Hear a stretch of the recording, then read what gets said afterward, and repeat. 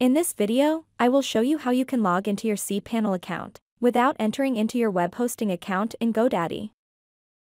If this is the first time you are visiting my channel, please subscribe to my channel and click the bell icon to get updates when we add new content.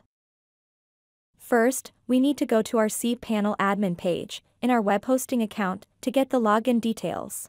First, we need to log into our web hosting account, and next, clicking My Products tab from the list of options will take us to this page, where all our domains and web hosting and any other professional email account we purchased will be visible here.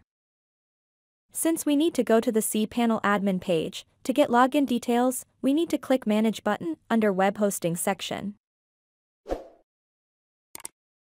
And we are in the cPanel admin page. Here's the cPanel username. And this is the cPanel password. If we have saved the cPanel password already, we can use it for logging into cPanel or we need to again create the cPanel password. So to change password, click change here. And again here, we can enter new password.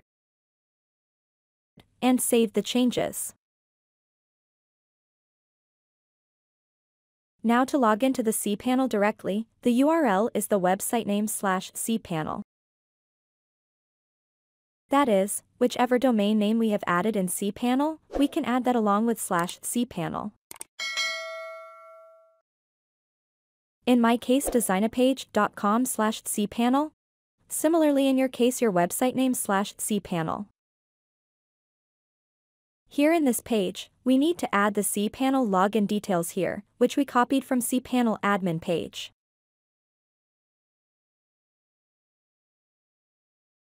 And done, you can see, we are in the cPanel settings page, without logging into our web hosting account. With this we have come to the end of this video tutorial, please subscribe to my channel and click the bell icon to get updates when we add new content.